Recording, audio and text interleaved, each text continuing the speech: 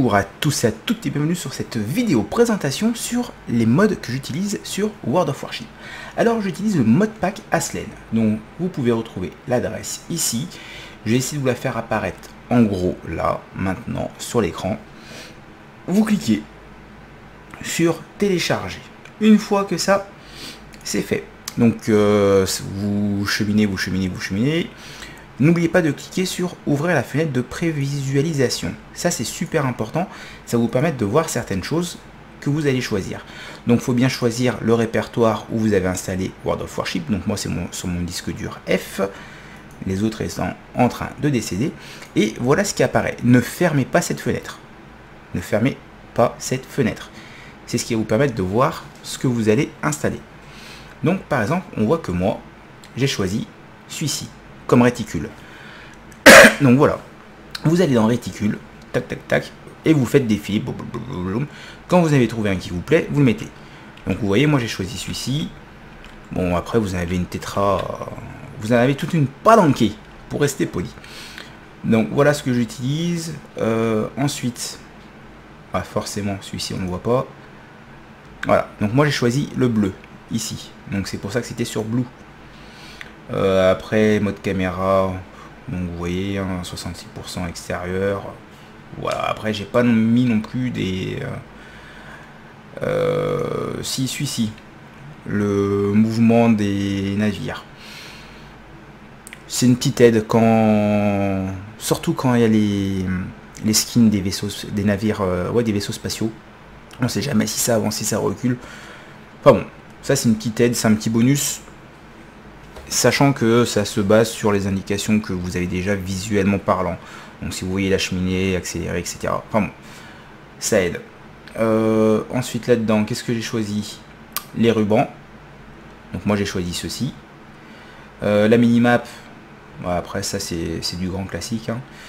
Ensuite au niveau du, port, donc euh, quand je suis au port j'ai différentes choses qui apparaissent, donc vous vous y voyez pas forcément, mais du coup moi j'ai mis les statistiques de session. Donc ça permet de savoir combien de parties vous avez gagné votre win rate donc si vous êtes à 10% 20% 30% 90% 100% l'argent que vous avez gagné aussi au cours de, votre session de jeu. Donc vous jouez je sais pas deux heures.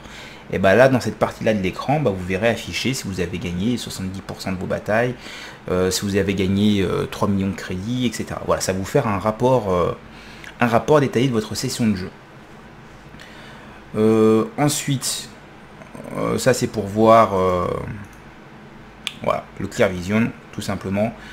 Statistiques de session, ça parle voilà, ça parle mieux quand c'est en français. Hein. Vous pouvez le mettre en français, moi je l'ai en français, hein. je l'ai pas en, russe, hein. j'ai pas encore appris le cyrillique. Donc vous voyez, vous avez vos, victoires sur les batailles jouées, ce que je vous disais, les dommages causés, etc. etc. après, bah forcément les ports, euh, qu'est-ce que j'ai remis encore Ouais, bah celui-ci, les drapeaux.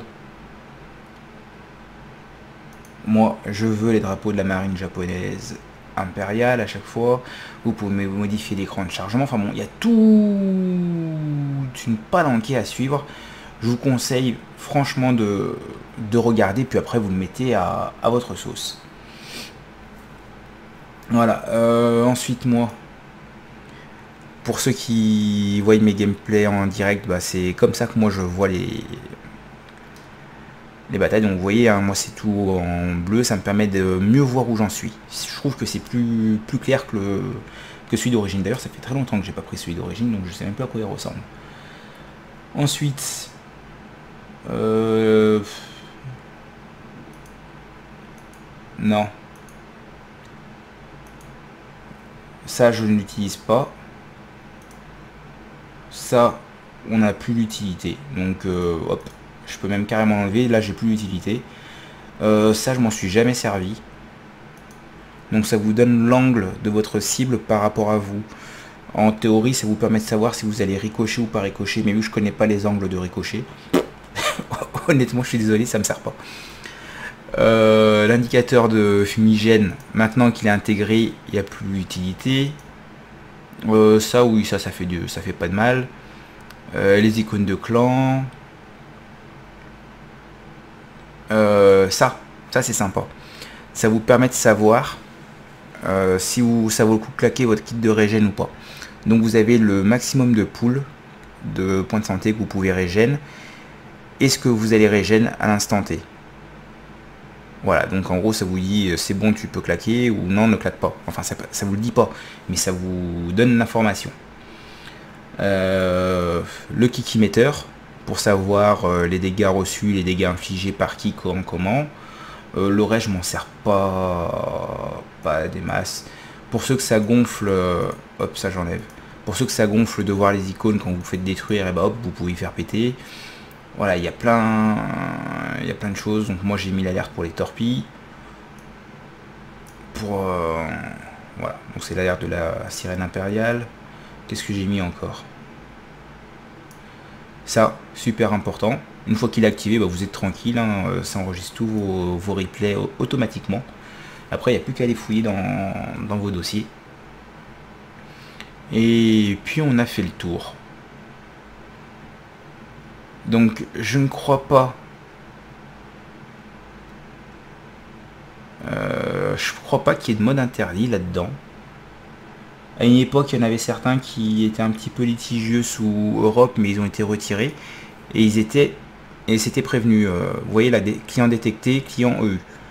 Donc il sait que je suis sur le serveur européen. Du coup, il me propose des trucs qui sont en adéquation avec le serveur européen. J'ai pas de trucs illégaux sur le serveur européen là-dessus.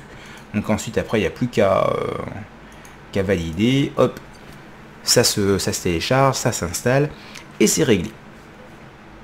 Donc voilà, j'espère que cette petite vidéo qui a duré quoi 5, euh, ouais, 5 grosses minutes vous aura permis de savoir ce que moi j'utilisais. Après, franchement, c'est euh, au feeling. Hein. Vous regardez ce qui vous plaît, ce qui vous plaît pas. Euh, la première fois que j'ai cherché des modes à installer, j'ai passé plus d'une heure. J'ai tout cliqué, j'ai tout fait défiler.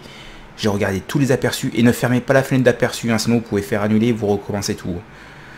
Parce qu'une fois qu'elle est, est partie, elle revient plus. Hein, dans le mode d'installation. Donc voilà, n'hésitez pas à me faire des retours, vous, quel mode vous utilisez. Vous utilisez. S'il y en a certains que vous pensez que je pourrais installer, pareil, faites-le moi savoir.